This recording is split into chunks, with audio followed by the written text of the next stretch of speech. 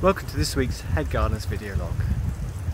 This week, as per usual, I've included my Vista of the week, and just to shake things up a bit, the top five plants of the week are all conifers. Just to let you know, we're working hard to keep the garden looking good, so that hopefully when we're given the green light, we can open and you can come and enjoy. Please stay safe, and I look forward to welcoming you to my next video log. Conifers come from all over the world, but it's rather nice to feature one that's native. This is Pinus sylvestris or the Scots pine. It has a lovely narrow form and this gorgeous bark.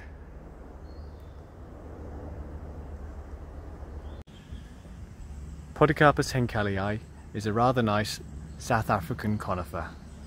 It has this wonderful foliage, it's a lovely limey green colour at this time of year. It really does set itself apart from other conifers.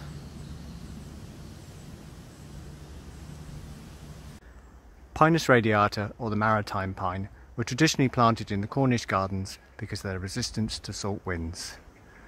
This wonderful old specimen has a beautiful structure to it at Trebah and is really set off against the beech trees surrounding it.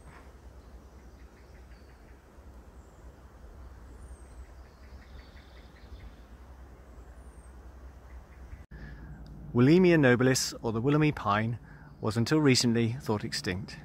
It was then rediscovered in a valley in Australia and then micropropagated. This particular plant is now around about 7 to 8 metres in height and has lovely female cones. It has this gorgeous narrow form and really does fit in well at the edge of the Chilean coombe.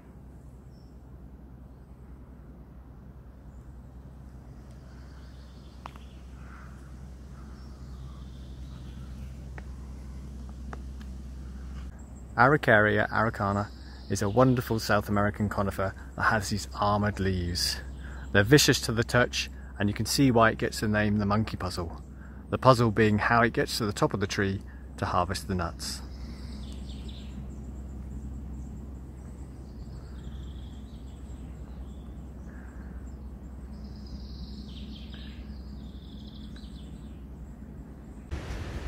Making into Vista of the Week this week is this wonderful view back up through the valley. With Mallard Bridge in the foreground, surrounded by the hydrangeas, the Gunnera plantation in the middle, and the house at the head of the valley, it really is a wonderful view. Give it a few weeks time and the hydrangeas will start to flower, and it'll just be a sea of blue.